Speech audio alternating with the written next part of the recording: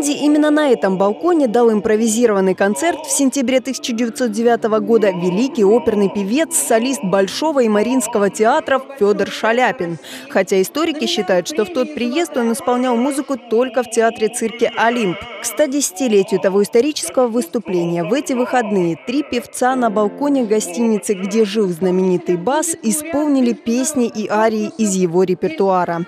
Идея самарцам пришлась по душе. Здорово организовано, приятная атмосфера, уютно. Еще с учетом того, что перекрыли улицу, сделали пешеходный. Побольше бы таких мероприятий. Это очень хорошо, это очень достойно. Молодцы, молодцы. Самара стала просто похожа на курортный город.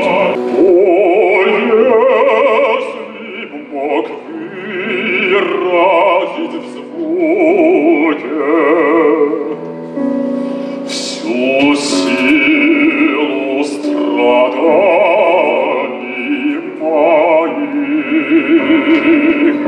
С импровизированной сцены в течение часа слух самарцев радовали солист Самарской государственной филармонии, лауреат международных конкурсов Антон Степанов, солист Самарского академического театра оперы и балета, заслуженный артист Российской Федерации, народный артист Самарской области Андрей Антонов и солист Московского музыкального театра «Геликон Опера» Дмитрий Скориков.